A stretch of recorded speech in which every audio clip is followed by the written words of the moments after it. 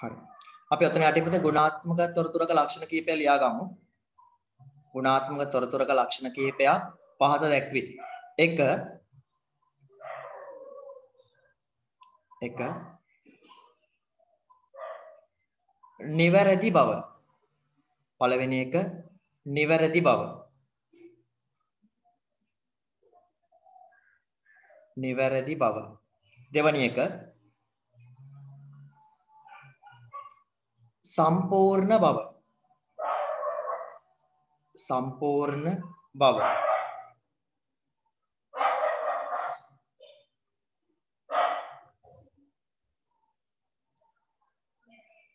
ඊළඟ එක. අදාළ බව. අදාළ බව.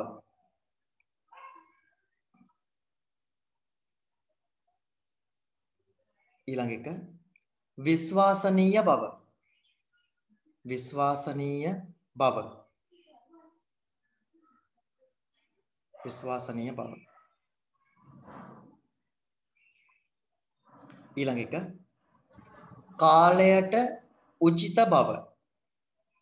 කාලයට උචිත බව.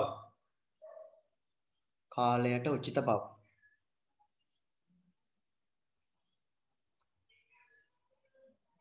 ඊළඟ පිරිවැය අවම වීම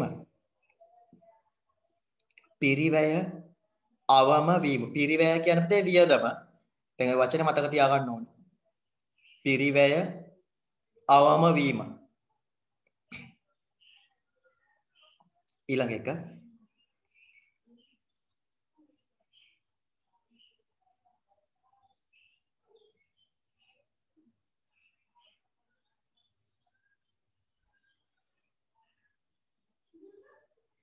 નિયમિત වේලාවට નિયમિත වේලාවට සකස් වී සූදානම් වී තිබීම.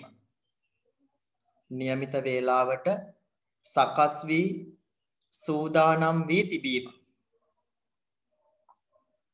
ඊළඟ.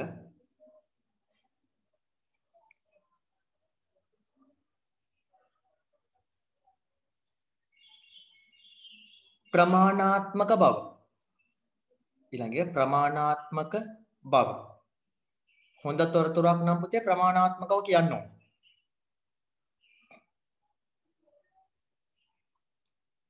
ප්‍රමාණාත්මක බව. ඒ කියන්නේ පුතේ ඒ ප්‍රමාණාත්මක බව කියලා කියන්නේ දැන් ඕගොල්ලන්ගේ වන පන්තිය දඟල දඟල ඉන්නකොට අපි තමයි විදුහල්පතිතුමා එනවා ප්‍රින්සිපල් එනවා. ප්‍රින්සිපල් ආමානව මේ නැගිටින මොන්ට පන්තියේ කීයක් ඉන්නවද අද කියලා. දැන් ඔයා නම් පුතේ මොනිටර් පන්තියේ නේ පන්ති නායකයා ඔයා නම් දැන් පන්තියේ කීයක් වෙනකද දැන් ගණන් කරගෙන ඉඳලා හරියනවද? එහෙම හරියන්නේ නැහැ. ඒතර ඔයා කියන්න ඕනේ පන්ති ඉන්න ගාන. ඔයා කියනවා 40ක් විතර එහෙම කියනවා. එහෙම වුණොත් ප්‍රින්සිපල්ගෙන් හොඳ වයින් දෙයක් අහගන්න වෙනවා. නිශ්චිතව කියන්න ඕන. ඔයා පන්තියේ පන්ති නායකයා නම් ඔයා දැනගන්න අද පන්තියේ කීයක් ඉන්නවද කියලා නිශ්චිතව. 40ක් විතර හරියන්නේ නැහැ. 40යි සර්. එහෙනම් 40යි කියලා කියන්න ඕන. නේ? ඒතර මේ නිශ්චිතව පුතේ තොරතුරක් ඉදිරිපත් කරන්න ඕනේ. දැන් විදුහල්පතිවරුන්ගෙන් එහෙම මේ දවස්වල අහන ඉස්කෝලේ කී දෙනෙක් ආවද? ඒතර අපි උදේ පන්තියකට ගිහලා රෙජිස්ටර් කරාම නාම ලේඛනේ රෙජිස්ටර් එක මාක් කරාම නාම ලේඛනේ ලකුණු කරාට පස්සේ අපි වාර්තා කරන්න ඕන අපේ අංශ ප්‍රදානියට අපේ පන්ති වල කීයක් ඉන්නවද? ඒතර නිශ්චිතව කියන්න ඕන හතරක් විතර පහක් විතර එහෙම කියලා හරියන්නේ නැහැ. නිශ්චිතව කියන්න ඕන. ඒ නිශ්චිත තොරතුරු ටික අංශ ප්‍රධානියා යවන මේ නියෝජ්‍ය විදුහල්පතිවරයෙක්ට. නියෝජ්‍ය විදුහල්පතිවරයා ප්‍රින්සිපල්ට දෙනවා විදුහල්පතිතුමාට. ඒතර හරි නිශ්චිත තොරතුරක් තමයි ලැබෙන්න ඕනේ. ඒතර විදුහල්පතිතුමා කියලා හරියන්නේ අද ළමයි 500ක් විතර ඉන්නවා. එහෙම කියලා. අද ළමයි මෙන්න 501ක් ඉන්නවා. නිශ්චිතව කියන්නේ. හොඳ තොරතුරක් නම් පුතේ නිශ්චිත වෙන්න ඕනේ. වගේ නැහොත් ළමයි එතන කීයක් ඉන්නවද නිශ්චිතව කියන්න පුළුවන් වෙන්න ඕනේ. නේ? ඒතර නිශ්චිත නැත්නම් නැත්නම් මේ මේ ප්‍රමාණාත්මකව කියන්න බැරි නම් ඒක හොඳ තොරතුරක් නෙවෙයි. ප්‍රමාණාත්මකව කියන්න බැරි නම්. ඒ කියන්නේ සමහර දේවල් ප්‍රමාණාත්මකව කියන්න බෑ කියලා අපි දන්නවා. කාගේ හරි හොඳ නරක මොහොකාරි සුවඳ ඒව ප්‍රමාණාත්මකව කියන්න බෑ. බෑ ඩෙස්ක් පුටු ගන්න. ඔයගොල්ලන්ගේ ලැබ් එකේ දැන් මගෙන් අහනවා ලැබ් එකේ පරිගණක කීයක් තියෙද? උතර මම කියලා හරියන්නේ අපේ ලැබ් එකේ පරිගණක 40ක් විතර තියෙනවා. නේ? මම පරිගණක විද්‍යාගාරයේ බාර වෙන්නේ. ඒතර ඒ ඒ එහෙම ඉන්නවා නම් මම කියන ලැබ් එකේ පරිගණක මෙච්චරක් තියෙනවා. දල වශයෙන් මම දන්නවා මෙච්චර ප්‍රමාණයක් වැඩ කරන්නේ නැහැ කියලා.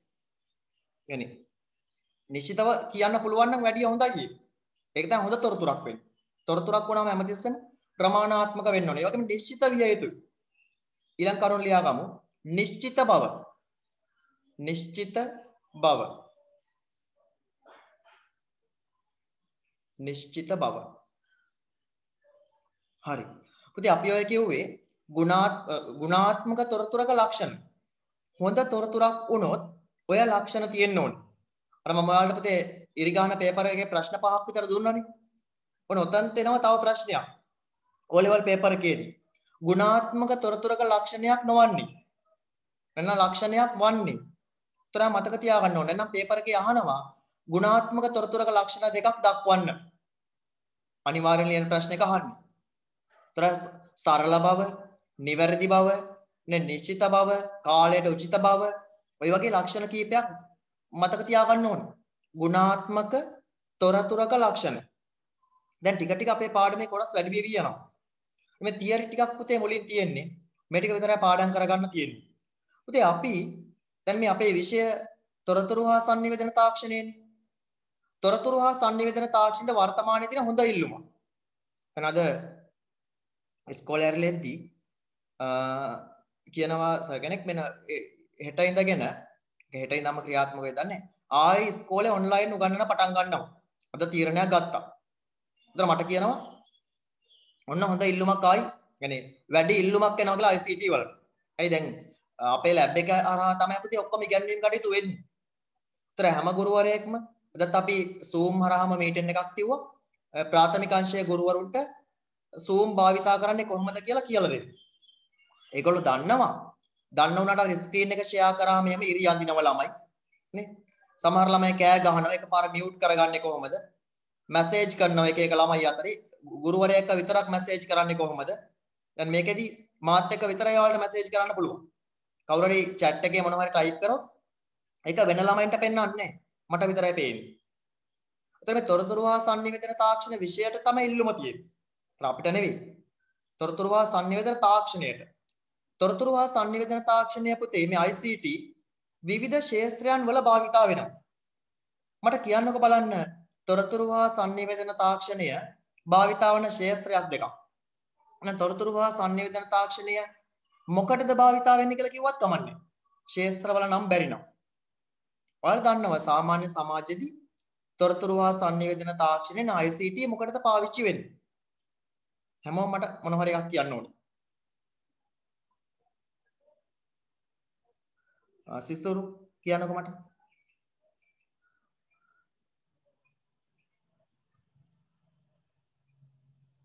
සිසුරු ඉන්නවනේ.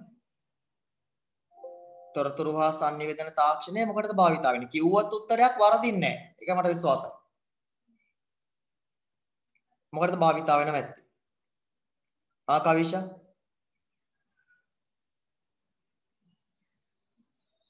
දැන් ඔයාලා මේ වෙලාවේ ඉගෙන ගන්නවනේ. වෙනද අපි ඉගෙන ගත්තා නම් මෙහෙම මේ විදිහටද අපි ඉගෙන ගන්න. නෑ වෙනද අපි ඉගෙන ගත්තා නම් අපි පන්ති කාමරයක ඉගෙන ගන්න. නේ? දැන් මේ භාවිතා කරන්නේ මොකක්ද? sannivedanaya කළ හැකි තාක්ෂණයක්. නේ? මේ sannivedanaya කළ හැකි තාක්ෂණය පුතේ මොකටද පාවිච්චි කරන්නේ? දැන් මේ අවස්ථාවේ මේ තාක්ෂණය පුතේ මොකටද ඔයාලා භාවිතා කරන්නේ? මොකටද දිසානායක මේ තාක්ෂණයක් භාවිතා කරන්නේ මේ අවස්ථාවේ?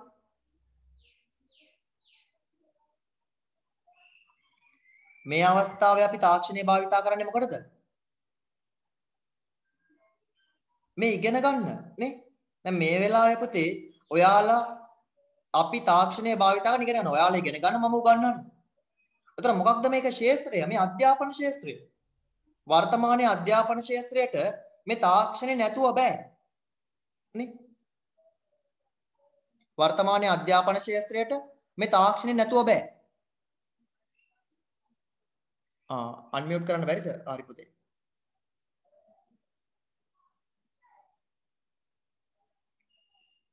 හරි හරි. හරි. පුළුවන්ද? දැන් ඉතින් තම කවුරු හරි අන්මියුට් කරලා හරි. දැන් පුළුවන් ඔව් හරි හරි හරි. ඒකට මේ හොඳ ක්‍රමයක් භාවිතා කරා කවිෂ එක කියන්න ඕනේ.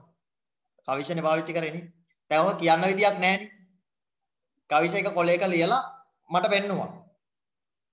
කවිෂන් එක පෙන්නුවේනේ ඔව් සර් ආ හරි හරි. මේ හොඳ බුද්ධිමත් හදිසි තීරණයක් ගැනීමක්. දැන් අපි හැමතිස්සෙම වෙන්න ඕනේ එහෙමනේ තීරණ ගන්න ඕනේ. නේ? මේ හදිසි. අතර සමහර කාටවත් මතක් වෙන්නේ නැතේ දැන් මේක කොහොමද කියන්නේ කියලා. කියන්න තිබුණා තව ඕනනම් ඒකේ chat එකේ තියන්න තිබුණා. මේ අරගත් හොඳ ක්‍රමයක්. නේ මම බැලුවා කොලයක් මොකක්ද අල්ලන්නේ කියලා මම පොඩ්ඩක් ලං වෙලා බැලුවම තමයි තේරුනේ මේ අන්මියුට් කරන්න තමයි තියෙන්නේ කියලා. හරි. හරි මේ මම ඒකේ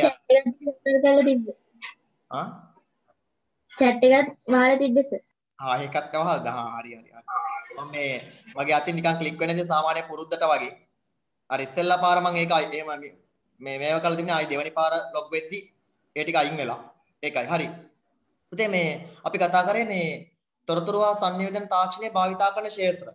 ඒතර අපිට අධ්‍යාපනය සඳහා තොරතුරු හා sannivedana තාක්ෂණය වර්තමානයේ භාවිතා වෙනවා.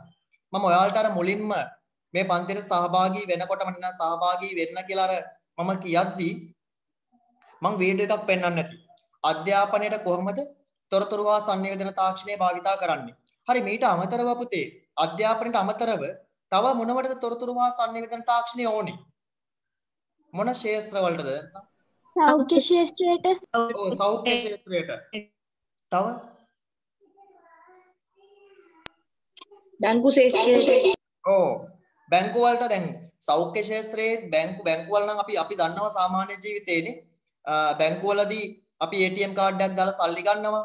මේ දවස්වල නම් අපිට පුළුවන් ඇප් එකකින් මුදල් හුවමාරු කරන්න අපේ ගිණුමේ තියෙන සල්ලි තවත් ගිණුමකට හුවමාරු කරන්න පුළුවන් අන්තර්ජාලය හරහා.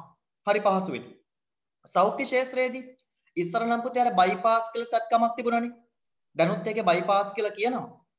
ඔබ දැන් ගොඩක් වෙලාවට කරන්නේ නේ නහරයක් එහෙම බ්ලොක් වෙලා තියෙනවා නම් අපිට පුළුවන් අර නැනෝ රොබෝ කෙනෙක් අපේ ශරීරයේ නහරයක් තුලින් යවන්න. මොකද යවලා ලේ කැටිය හිර වෙච්ච තැනට ගියාම එයා අරන් යන්නේ පොඩි අර පෑන් ක්ලිප් එකක් වගේ ගන්න පෑන් බටයක් වගේ එකක්. අරන් යන්නේ. ලේ කැටිය හිර වෙච්ච තැනට ගියාම එයා කරන්නේ ඒ පෑන් බටේ පුම්බනවා. පෑන් බටයක් නෙවෙයි හොඳේ. ඒ වගේ එකක්. ඒක පුම්බනවා. දැන් නහරය පළල් වෙන එක වෙන්නේ. તો නහරේ ලේ බ්ලොක් වෙලා නම් තිබුණේ. ඒක පළල් වුණාම අර බටයක් නිකන් උණු කළා ටිකක් ඇද්දා වගේ දෙපැත්තට. පළල් වුණාම ලේ ගමනාගමනය සිද්ධ වෙන්න පුළුවන්. ඒ වගේම තමයි වෙනද බයිපාස් සත්කම කරද්දී වෙනද නොකරන පරීක්ෂණයක් දැන් කරනවා. ඒකෙදි කරන්නේ පිටේ අපේ නහරයක් තුලින් යවනවා ඩයි එකක් ශරීරයට. ඩයි එක යවලා බලන් ඉන්න වෛද්‍යවරු කැමරා වලින් ස්කෑන් ස්කෑනර්ස් වලින් මේ ඩයි එක කොහොමද හෘදය වස්තුවට යන්නේ. ඒතර හෘදය වස්තුවට යන ගමන් මාර්ගය බලන් ඉඳලා ඒ වෛද්‍යවරු තීරණය කරනවා මෙන්න මෙතන නහරෙන් ඩයි එක යන්නේ නැහැ. අන්න එතන බ්ලොක් වෙලා තිනවා 100ට මෙච්චර ගාණක් කියලා. මේ උදාහරණ 160ක් බ්ලොක් වෙලා. නිශ්චිතව යා අගයක් කියනවා. එතකොට ඩයි එක හෘදය වස්තුවට ගිහිලා නැවත එළියට එන විදිය සලකා බලනවා. බලාගෙන ඉන්නවා කොහොමද මේක වෙන්නේ? කොතනින්ද ඩයි එක යන්නේ නැත්තේ? හරිද? කොතනින්ද මේක නවතින්නේ? අඩුවෙන් යන්නේ කොතනින්ද? ඒතර ඒ සඳහා අපතේ භාවිතා කරන්නේ තොරතුරු හා sannivedana තාක්ෂණය. අපේ බඩේ මොනවා හරි ඔපරේෂන් එකක් නම් දැන් වෙනද නම් පුතේ බඩ පළලා එහෙම මොනවා හරි කරන්න ඕනේ. දැන් එහෙම නැහැ. අපේ බඩෙන් ඒ කියන්නේ සමේ සිදුරු තුනක් විදිනවා. දෙකකින් අඬු දෙකක් දාන්න තියෙන තව එකකින් කැමර එකක් දානවා. කැමර එකක් දාලා අනිත් දෙකෙන් අඬු දෙකක් දාලා ඔපරේෂන් එක කරනවා. එතකොට මේ ඒ කියන්නේ පුතේ ඔපරේෂන් එක කරපු දවසම ගෙදර එන්න පුළුවන්. මොකද මහ ලොකු තුවාල නැහැ ශරීරේ. තාක්ෂණය තියෙන. තොරතුරු හා sannivedana තාක්ෂණය. බැංකු වලටත් එහෙමයි. බැංකු වල සල්ලි දාන්න පුතේ පොලිමේ ඉන්න ඕනද දැන්? අර ATM මැෂින් එකේ දැන් නම් මේ දවස්වල ටිකක් පොලිම තියෙනවා. ATM මැෂින් එකෙන් සල්ලි දාන්න පුළුවන්. අපිට ගෙදර ඉඳන් ගිණුම් අතර මුදල් හුවමාරු කරන්න පුළුවන්. හරි පහසුයි. තාක්ෂණය ඉතාමත් දියුණුයි. අධ්‍යාපනයටත් එහෙමයි. නේ ඔයාලා දැන් අපි මේ කොරෝනා එන්න කලින් අපි හිතන්නේ නැනේ මෙහෙම අධ්‍යාපන ක්‍රමයක් ගැන. හැබැයි ලෝකේ රටවල් මෙහෙම අධ්‍යාපන ක්‍රමයක් ලබා ගන්නවා. දැන් පුතේ ඔයාලට ලේස්ති වෙන්න වෙලාවක් යන්නේ නැහැ. ගමනාගමන වියදම් නැහැ. නේ? මේ ක්‍රමයට ඉගෙන ගන්නවා නම් මේක හොඳ ක්‍රමයක්. දැන් ඒ කියන්නේ අපිට ළඟ ඉඳගෙන ඉගෙන ගන්න පුළුවන් නම් මට දැන් මම මට හැමතිස්සෙම ඕන ප්‍රශ්න අහන්න ඕගොල්ලන්ගේ. ඒ නිසා මම මයික් එක ඔන් කරලා උත්තර දෙන්න කියලා කියන්නේ. පන්ති කාමරෙදිත් එහෙම තමයි. උත්තර දෙන්න ඕන. හරි පන්ති කාමරේදී නම් මූණ දිහා බැලුවම තේරෙනවා දැන් මේක අහගෙන ඉන්නවද නැද්ද එහෙම කියලා. හැබැයි මේකෙදී එහෙම තේරෙන්නේ නැහැ. හැබැයි අධ්‍යාපනය ලබා ගන්න තියෙන විකල්ප අතුරින් හොඳම විකල්පයක් මේක.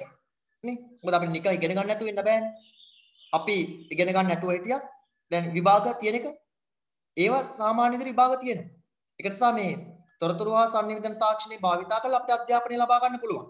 මම තේ පොඩි උදාහරණ කීපයක් පෙන්වන්නම් ඔයාලට තොරතුරු හා sannivedana තාක්ෂණය කොහොමද මේ අධ්‍යාපන ශාස්ත්‍රයට සෞඛ්‍ය ශාස්ත්‍රයට වගේ භාවිතා කරන්න කියලා. හරි. පොඩක් මේක බලන්නකෝ.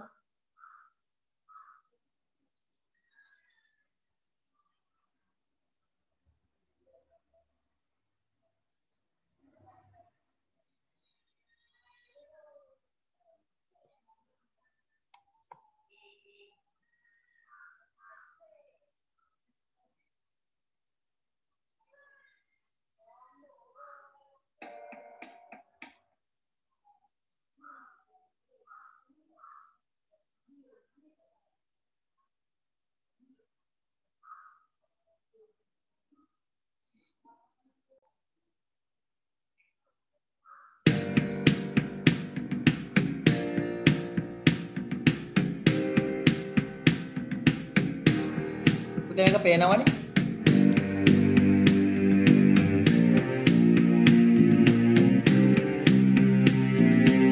මේ වීඩියෝ එක පේනව නේද? ඔව්. සර්. බලන්න ඒගොල්ලෝ අධ්‍යාපනය ලබන ක්‍රමය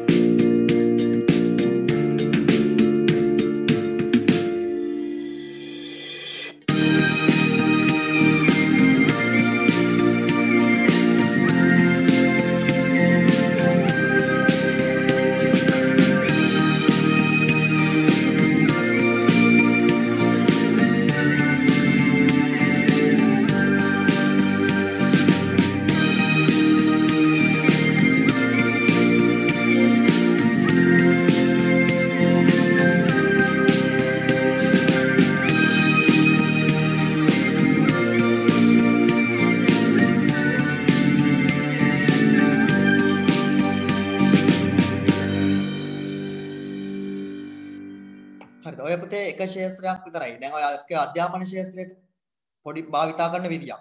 ඔය වගේ සෞඛ්‍ය විවිධ ශාස්ත්‍රයන් වල තොරතුරු හා sannivedana තාක්ෂණය භාවිතා කරන විදි තියෙනවා. දැන් උදාහරණයක් දැන් මට පෙන්වන්න ඕන පුතේ ඔයාලට hard disk එකක් ක්‍රියාත්මක කරන විදිය. ඇත්තටම මට මේ අවස්ථාවේ hard disk එකක් ගලවලා මෙහෙම කැමරේකට අල්ලලා ඕනනම් පෙන්වන්න පුළුවන්. නම් මට ඊට වඩා ලේසි වීඩියෝ එකක් භාවිතා කරොත් hard disk එකක් ක්‍රියාත්මක කරන විදිය පෙන්වන්න. ඒතර මට පැහැදිලිව ඕක පෙන්눔 කරන්න පුළුවන්. ඒ වගේම මට කාට හරි ළමයෙකුට පුතේ මවුස් එක වැඩ කරන්න උගන්වන්න ඕනේ. මවුස් එකෙන් මෙහෙම ක්ලික් කරන්න තියෙනවා මවුස් එක එහා මෙහා අරගෙන යන්නේ මෙහෙම එහෙම කියලා. ඒතර මම මම තොරතුරු වා sannivedana තාක්ෂණය උගන්වන ගුරුවරයෙක් විදියට මම ඇත්තරම කියලා දෙන්නේ නැහැ කාටවත් මවුස් එක අරන් යන්න ඕනේ වෙන්න මෙහෙම. මවුස් එක ගෙනියන්නේ මෙහෙම. මවුස් එකෙන් ක්ලික් කරන්නේ මෙහෙම. එහෙම කියන්නේ නැහැ. මම කරන්නේ එයාට පුංචි ගේම් එකක් දෙනවා ප්ලේ කරන්න. ඒ කියන්නේ මෙන්න මේ වගේ ගේම් එකක් ඔයාලට පේනවනේ මේ ගේම් එකනේ. මම ගේම් එකක් දෙනවා. මේ ගේම් එකේ තියෙන පුතේ මේ ඇපල් කෙටි උඩ ක්ලික් කරගෙන යන්න. වේගයෙන් ක්ලික් කරගෙන යන්න ඕනේ. ඒතර මවුස් එකත් එයා ටික ටික එහාට මෙහාට ගෙනියනවා. ටැබ් එක නැත්නම් ටච් ස්ක්‍රීන් එක මවුස් එක එයාට ක්‍රියාත්මක කරන්න පුළුවන් වේගය. මම මේ ටිකක් කෙලින් ක්ලික් කරලා ඔයාලට පුළුවන් ඊට වඩා වේගයෙන් ක්ලික් කරගෙන ඕනනම් යන්න. හරි. මේ කිසියම් වෙලාවකදී කොච්චර ඇපල් කෙටි ප්‍රමාණයක් මේ ක්ලික් කරලා ඉවර කරන්න ඕනද කියලා එයා පෙන්නනවා. 40ක් මම අයින් කළා. අතර ඔය වගේ ඊළඟ පාර කරද්දි මේක තව ටිකක් වැඩි කරගන්න පුළුවන්. අතර කාටවත් පුතේ මම මේ උගන්වන්නේ මවුස් එක උහුරු කරන්න කියලා කියන්නේ අපි එයාට දෙන ගේම් එකක් ප්ලේ කරන්න. අතර ගේම් එකක් ප්ලේ කරන්න හැම ළමයි මාසයි. නේ? අතර එයා ඉබේම ටච් පෑඩ් එක නැත්නම් මවුස් එක එහා මෙහා ගෙනියන්නත් වේගයෙන් ක්ලික් කරනත් උරු වෙනවා. එහෙනම් සමහර වෙලාවට ඩබල් ක්ලික් කරන්න ගියාම නේ ක්ලික් කරගන්න බෑ. හැබැයි මේකෙදි එයා වේගයෙන් ක්ලික් කරනවා. උතර අපිට මේ වගේ ගේම් එකක් තුලින් හරි මේ වගේ ගේම් එකක් තුලින් හරි පහසුවෙන් කොහොමද මවුස් එක ක්ලික් කරන්නේ කියන එක පැහැදිලි කරන්න පුළුවන්. හරි. උතර මේ තොරතුරු හා සංනිවේදන තාක්ෂණය පිටි අධ්‍යාපන ශාස්ත්‍රයට මමගේ තොරතුරු හා සංනිවේදන තාක්ෂණය උගන්වන්න වගේම වෙන වෙන විෂයන් උගන්වන්න. අපිට භාවිතා කිරීමේ හැකියාව තියෙනවා. දැන් මේකේ තියෙනවා විවිධ හැඩතල අඳින්න පුළුවන් නේ. ඒ වගේම මට පරිගණකයේ මේ 11 මේ පුතේ මේ දැන්ට 10 වසර එකක්. හරි මේ ක්ලාස් එක මේ අලුත් 10 වසරේ ක්ලාස් එකක් තියෙන්නේ. කියන්නේ කවුරු හරි ළමයෙකුට මේක අහගෙන ඉන්න පුළුවන් ඕන නම්. ඒ කියන්නේ දැන්ට 11 වසරේ ඉන්න ළමයෙකුට කිසි ප්‍රශ්නයක් නැහැ මුල් හරියට ටික අත්හැරලා තියෙනවා නම් මේක අහගෙන ඉන්න පුළුවන්. හරි. 11 වසරේ ක්ලාස් එක තිබුණේ පුතේ අද උදේ 5 ඉඳන් 6:00 වෙනකම්. ආයි ලබන බ්‍රහස්පතින්දර තියෙන්නේ 5 ඉඳන් 6:00 වෙනකම් 11 වසරේ ක්ලාස් එක. උදේ 5 ඉඳන්. වගේ තව දෙයක් මට දැනගන්න ඕන. දැන් මෙතන ඉන්න මේ දෝල පුතාලට ඒ කියන්නේ උදේ පාන්දර පන්තිය තියෙන එක කැමතිද? මේ වෙලාව හොඳද?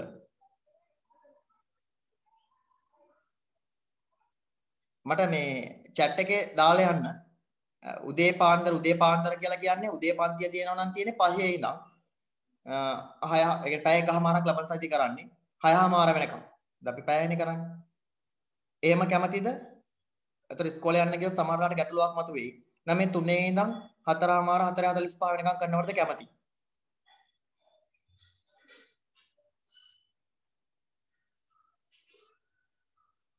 කියන්නේ උදේම දැම්මොත් කවිෂ බැරිද? මේ වෙලාව හොඳයි.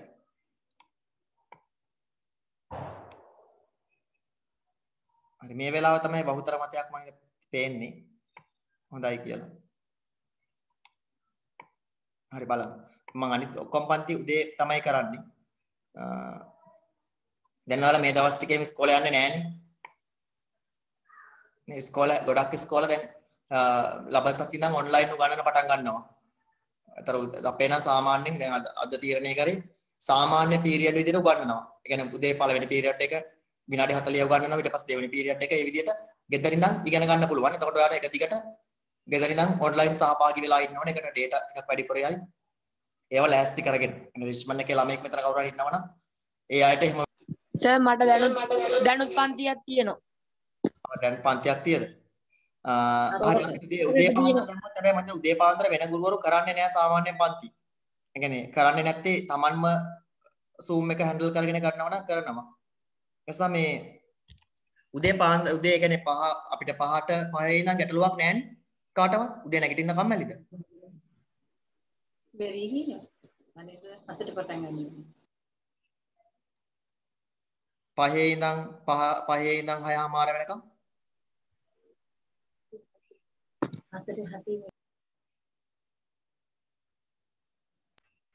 හතට පුළුවන්ද? හතට කියන්නේ උදේ 7 ඉඳන් බෙතර ඉස්කෝලේ යන්නේ නැද්ද? නෑ සර්. මං ඉස්කෝලේ යන්නේ නැහැ. ඒකෙන් ප්‍රශ්නේ. මේ මට ඉස්කෝලේ යන්න වෙනවනේ පුතේ. මේ උදේ 7ට බෑ. ඒක නිසා. පහට තමයි පටන් ගන්න වෙන්නේ. පහට ඉතින් හොඳයි පුතේ. එතකොට ඔයාට දවසේ දේ උදේම ටිකක් නැගිටින්න. ඔයා මේ පහට කාලක් තියලා නැගිට්ටත් කමක් නැහැ.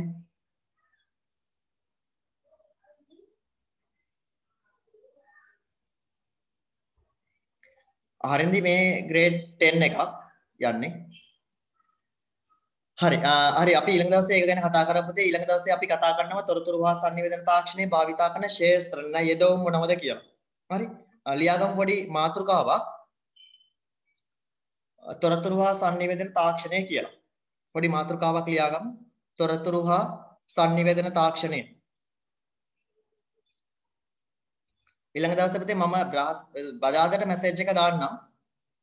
අ එතකොට මම උදේද නැද්ද කියලා මේ- මේක අනුව බලන්න. අ ගොඩක් කලට උදේ පන්තිය තියේවි. අ, එදාට පුතේ පැය එකමාරක් තමයි පන්ති කරන්නේ. ඒ කියන්නේ ඉස්කෝලේ වැරදිලා හරි නිවාඩු දුන්නොත් 1:45ක් පන්තිය තියෙනවා. මේ පැය 1 විනාඩි 45ක්. හරිද? හරි අපි ඊළඟ දවසේ ඔක ලියාගමු. ඔය දේවල් ටික. උතරාගේ යාළුවෝ එහෙම දන්න කියන අය ඉන්නව නම් ඒගොල්ලෝ දැනුවත් කරන්න. පන්තිය අ, උදේ 5 ඉඳන් 6:00 වෙනකන් තියෙනවා කියලා. හරි. හරි හැමෝටම මේ සුබ දවසක් ප්‍රාර්ථනා කරනවා. හැමෝම ආරක්ෂාකාරී වෙන්න.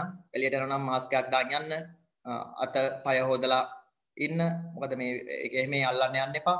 ඒ වගේ දේවල් කරමින් ආරක්ෂාකාරී වෙන්න කියලා හැමෝටම මේ සුබ දවසක් ප්‍රාර්ථනා කරනවා. හරි පුතේ. ආයුබෝවන්. අයිබෝන් ආයුබෝවන් සර්